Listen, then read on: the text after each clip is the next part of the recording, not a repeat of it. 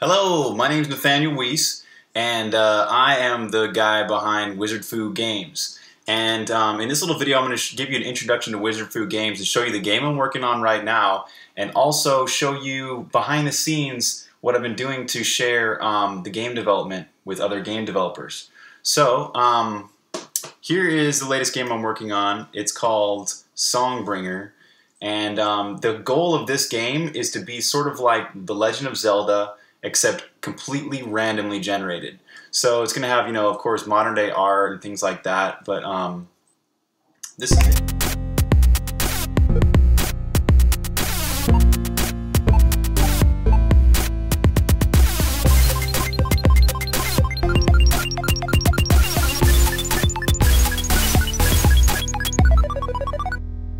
So, so far, really, there's nothing um, been done in the game except, you know, I've got a, a nice entity component system going, um, an engine i am building with Cocos 2D-X. So this game is going to come out for uh, Windows, Mac, Linux, iOS, and Android. So it's going to be cross-platform. I plan to release it on Steam. So Greenlight should be happening in a couple months. And also, I'm going to do a Kickstarter at that same time. So um, try and build up the funds to do this.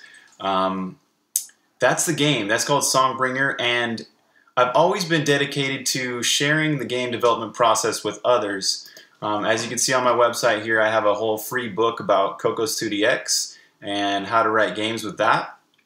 Um, I also have like several different game engines I've written, which you can purchase. But what I'm doing differently this time is I'm sharing every day that I'm doing development. I share for an hour. I do live streaming on Twitch. So for an hour of the day, I'm doing all, I'm sharing the whole game development process. I'm sharing how I make music, I'm sharing how I make art, and I'm sharing the code as well. So this is a totally new thing, and this is a full-length game. Songbringer is going to be a full game. It might take six months to a year to make, and basically every day of the development, you're going to be able to go back and watch this. And also, um, when you're here on the Twitch page, you can see I also have um, a link to my YouTube as well. And that's also on my website. I have a link to the YouTube. And I'm archiving all the videos as well. So you'll be able to go back and check out the whole process of how this game is developed. And hopefully that's really valuable to other people that are game developers. And maybe if you're not a game developer, you just like the game, cool.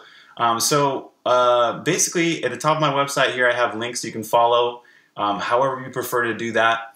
Um, that's how you can follow my game development or my games. So that's it for this video, and um, welcome.